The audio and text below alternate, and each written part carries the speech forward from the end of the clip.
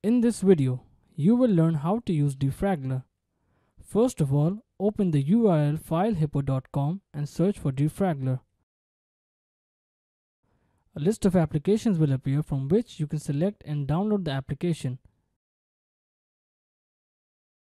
Now a product description page will appear from where you can check its specifications. In order to download it, click on the download latest version link available on the top right corner of the window. After the application has been installed, click on the shortcut on the desktop to run the application. On the main screen of Defraggler, you can see your computer system's hard drive status. It will also show you the drive's health, whether it needs to be defragged or not. Click on your desired hard drive partition to select it. After selecting it, click on the Analyze button to start analyzing its status and file structure. After analyzing your drive, click on the defrag option. You will find two types of defragging options here.